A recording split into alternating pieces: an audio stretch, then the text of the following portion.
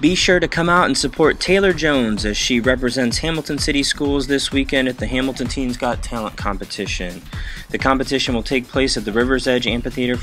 All of you Big Blue fans out there, now's your chance to get all the latest updates and scores and everything else Big Blue related. Visit Big Blue Athletics or follow us on Twitter at HHS Big Blue AD for more details.